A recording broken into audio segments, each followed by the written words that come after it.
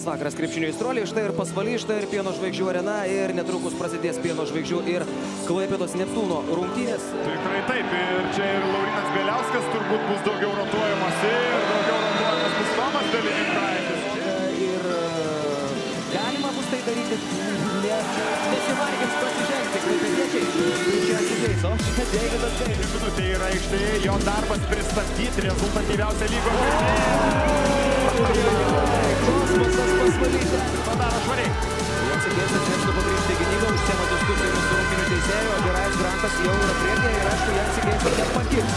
Gediminas Petrauskas. Apskritai, per ketverias rungtynes į krepšį metė tik devynis kartus. U, Džiugas Lavinskas iš viršaus ir Laimė Niko Dvikovą Jansi Geisai. atstovėjo dabar Geisas. Ir greitas kontra išpolis taikus, metimas iš trijų taškų zonos. Janikas Frankinas. Gali tikėtis daugiau jaunimas e, pasireikšti, kai nebėra Kailo Vyverio.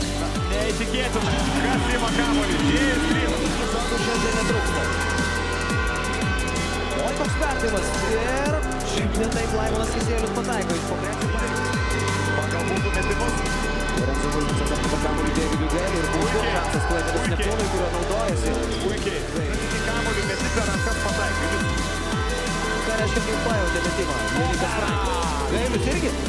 Antras jo tritaškis. Klaipėdos Neptūno komanda išsiveržė į priekį. Klaidos perdavimas ir labai trumpam. Krepšinis. Dabar Bešik ir Centras žaidžia pasvaliečiai, kėlinę pabaigą. Kailis išmaudo Frankį. Tritaškis Kelinių. 47-48 einama jie. Visi beveik skriejo pro šalį, tai vėliau Gailius ir Devininkaitis e, pakoregavo šitą procentą, tritaškių pataikymas dabar jau nepilno pusėje 50 procentų, tikrai gerai. Opa, Slavinska paslėptas perdavimas iš viršaus Gytis Masiulis. Sugeba paduot kamuolį.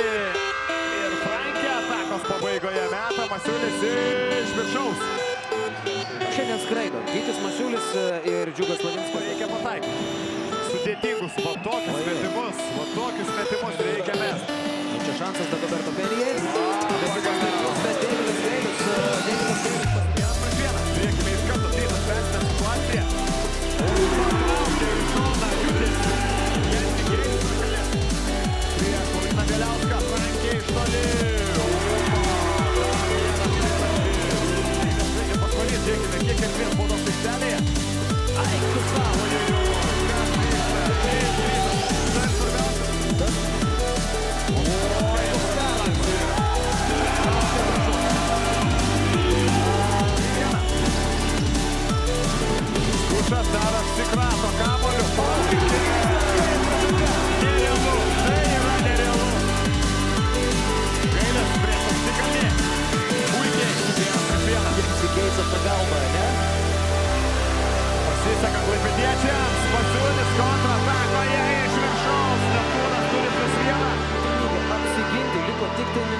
17 sekundžių. Neptūnui reikia taškų. Tai labai juos priartintų prie pergalės. Pataiko Masiulis iš toli.